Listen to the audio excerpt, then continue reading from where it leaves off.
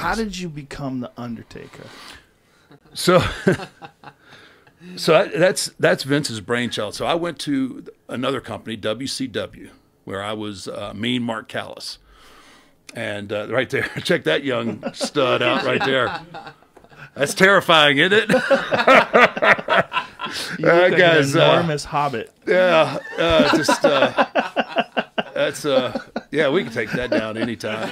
Uh, so, so, so I go there, and uh, I, I was about I was there about eight or nine months, and uh, my contract was coming up, and I go I go in to renegotiate my contract, and they were like, "Look, you're a great athlete, kid." but no one's ever going to pay money to watch you wrestle. Like, I'm just looking for a little bit of bump, right? A little bump in my paycheck. I'm not looking for the mega deal. I'm just looking for a little bit of bump. Now Wow. we're going to give you the same deal for a year. I mean, it, it- you just, you know, you do great things in the ring, but no one's ever going to pay money to see you wrestle. Did they give you advice on how to get someone to pay? No. Wow. No. That, that was it. out everything wrong. That, that was it. So I'm like, okay, I've, my ceiling, I know where my ceiling is here, right? So, uh, just through, uh, you know, a few different people, I get connected with some people in the, in the W, which was WWF at the time, it's WWE now. And, um, I had a match coming up. My hip was already bad at that point, even back then. Yeah, I, I, it, it got much worse, but I was already limping, and uh, and I just heard it when we'd got Vince. You know, they had said, "All right, you know, they've got a pay per view. Just watch him work." You know, so Vince watches me work, and I'm calm, like I, I'm, I'm, you know, talking to my buddy Bruce. I'm like, Bruce, my hip is jacked. He goes, just go out there. Vince is going to be watching, right? So I'm working with a guy by the name of Lex Luger. Went out there and did what I could. I sucked. I mean, I was, you know, I was, I was physically, you know, I was physically not able really to to go the way I could go, and Vince wasn't impressed. You know, he's like, okay, he's, you know, he's running the mill. Fortunately, guys like, uh, you know, Paul Heyman and and uh, and Bruce Prichard, you know, they believed in me, and they kind of kept pushing to, for me to get this meeting with Vince, and finally I did. I, and he calls me. I got to go to his house, right?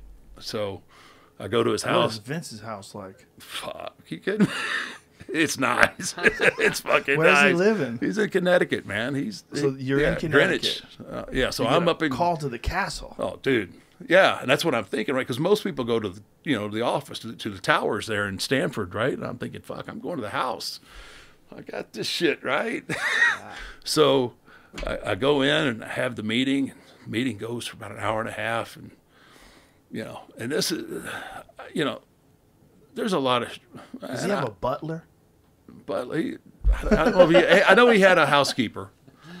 I would imagine there'd be a dude with a British accent answering the door. I never no saw him. sleeves, just ripped. yeah, right. You have to be everybody. Everybody's jacked that works for Ritz. But uh, so I go, I go there, and uh, you know, eh, eh, granted, we we do some hokey shit. Uh, It is what it is. And they really, at that point, had some really, really fucking goofy characters.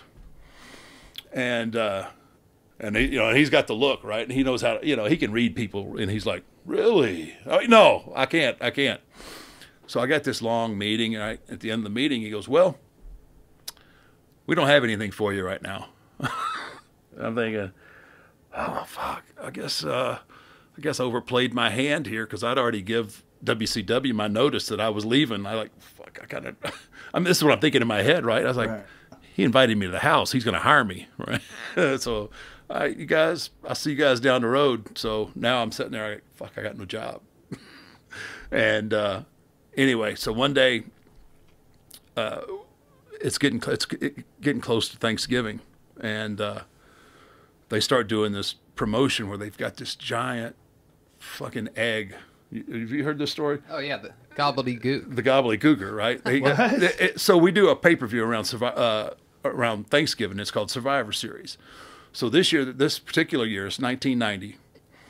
They're gonna, There yeah, is. there it is. Uh, they've got this giant egg on the set on the TV every week, and I'm sitting there thinking to myself, "Holy fuck." I'm gonna be. I'm now. Now I've gone from shower guy. Now I think I'm gonna be Eggman. Right? Fuck. I'm gonna have to. You know, I'm trying to grow my hair out, and I thought, fuck, he's gonna make me shave my head. I might shave my eyebrows. I'm. I'm gonna be fucking Eggman. Oh, and I'm. I'm a nervous wreck. Right? So one day I'm sitting at home. Phone rings. I get up and go answer it because we didn't have cell phones back then, right? So, hello. He goes, "Is uh, is this the Undertaker?" I was like, Undertaker, Undertaker, Undertaker in Eggman. Fuck, Undertaker. That's pretty fucking cool. Yeah, yeah, this is Undertaker. Yeah, and it was Vince, and that was how he introduced the character to me.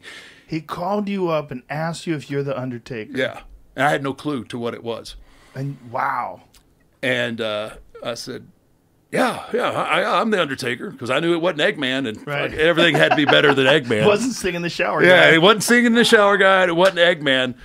Flew me up to Connecticut the next day, showed me the storyboards, and the character, the original character, is based on an old Western Undertaker.